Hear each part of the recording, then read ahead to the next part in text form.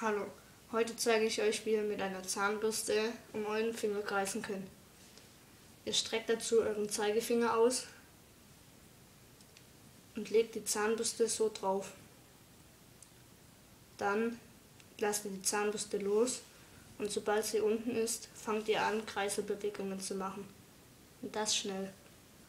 Das sieht dann so aus.